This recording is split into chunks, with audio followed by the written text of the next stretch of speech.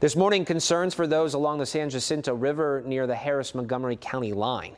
Overnight, families were rescued out of their homes. You can see uh, some there with their pets. A voluntary evacuation order is in effect.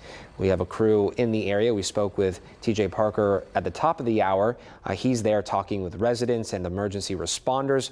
Joining us right now is meteorologist Jeff Lindner, director of Harris County Flood Control District Flood Operations and Forecast. Jeff, thank you so much for your time this morning. We appreciate it. Yes, thank you. So obviously this is a fluid situation. Uh, talk to us though about the immediate concern right now.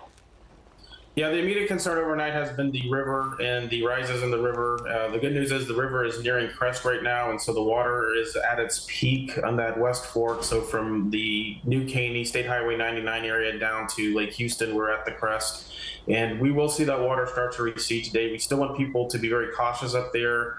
Uh, as they're moving around, don't drive into high water. Uh, be very um, aware of what is going on out in those mm-hmm. areas. Mm-hmm and then please pay attention to the forecast as we go into tonight. We are expecting additional heavy rainfall, especially north of the metro area, and that could result in renewed rises on the east fork of the San Jacinto River and also on the west fork of the San Jacinto River. Um, so we need to be paying attention to, to that tonight as we uh, expect additional heavy rainfall in the area. Yeah, so more threats come with that rain.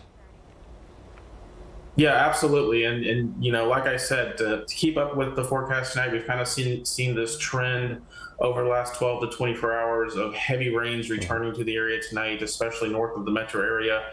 And all of these rivers that drain those areas off to the north uh, bring that water down here. And that's exactly what we're seeing right now from Sunday night's rainfall. So uh, we already have saturated grounds. We have mm-hmm. high rivers. Uh, we don't need additional rainfall, but we're going to see that tonight into tomorrow. And so we need to be paying attention to that. But the good news for today is that what flooding is occurring on the east fork of the San Jacinto River will be subsiding uh, during the day today and into tonight. Yeah. Okay. Great perspective. Good information. Jeff, as always, thank you very much for your time. We do appreciate it.